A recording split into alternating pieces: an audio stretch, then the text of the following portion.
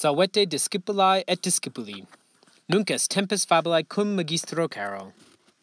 Hore legimus fabulam, quae vocat, puella nomine Alison. Magister Savage scribit, Magister Carol narrat. Legiamus. Olim, puella est nomine Alison. Alison, crustula amat. Sed Alison crustulam non habet. Itaque, Alison ad tabernam it. Sed taberna quoque crustulam non habet. Alison tristis est.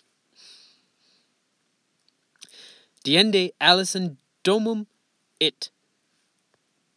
Ecce, sunt crustula ante januam. Nunc Alison non tristis, sed laeta est.